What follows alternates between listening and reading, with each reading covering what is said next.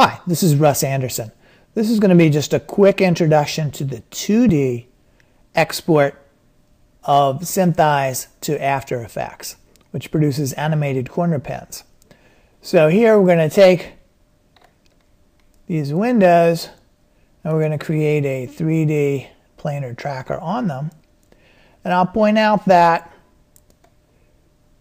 the same process works whether it's a 2D or 3D planar tracker inside of SynthEyes here. It's a bit more interesting to do it as a 3D tracker. So here I'm just rescaling and positioning this a bit. And now I'll just track it through the shot. And you'll notice there's an increasing amount of it that's off the edge of the uh, source image. And that really doesn't make any difference as long as there's enough of the remaining portion of the image to track.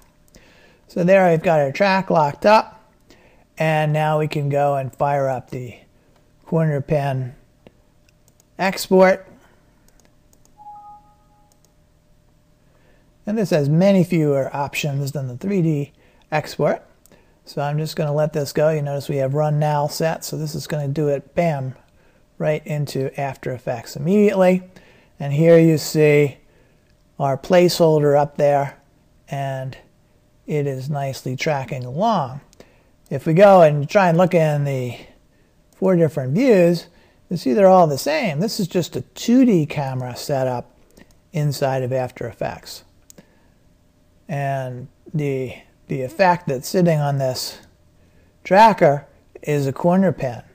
And the coordinates have been animated to track as they're needed to keep this in the right spot. And you'll notice that because of the way the planar tracker works and all, it doesn't matter that part of it has gone completely off the edge of the screen. Matters not. So this is a nice way to address, you know, relatively simple tasks like uh, monitor inserts and, you know, changing the logo on a sign, whatever, that you can just go and work inside of the 2D environment of After Effects and do something like this. It's just an alt drag into that. And, you know, there we go. We've got, you know, a new, new version of that window stuck up there.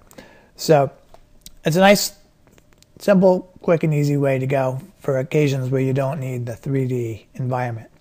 Thanks.